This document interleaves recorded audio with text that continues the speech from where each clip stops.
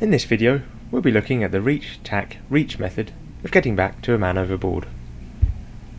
This method's recommended by the RYA, and it's a good way to get back to a man overboard if you're short-handed, or if it's windy, as it doesn't include a jibe.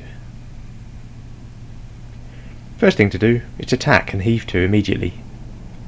This takes the way off the boat and keeps you close by while you get yourself sorted. It also keeps you close enough to throw the recovery kit, your horseshoe lifebuoy, your light and your drogue to the man overboard.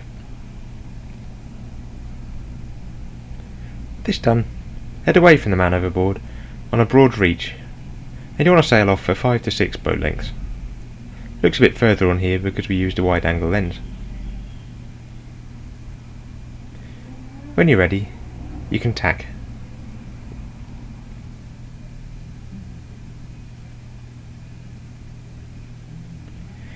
And when you're settled on the other tack, bear away onto a run and cross your own wake.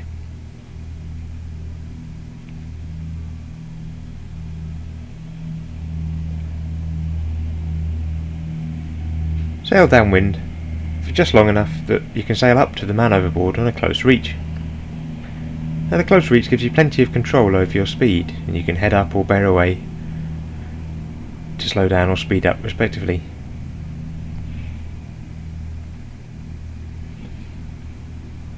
On the final approach, let the sheets fly so that you can stop alongside the casualty.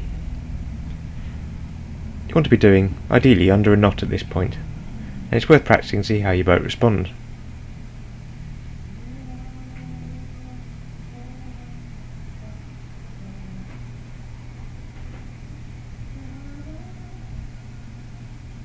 Got him!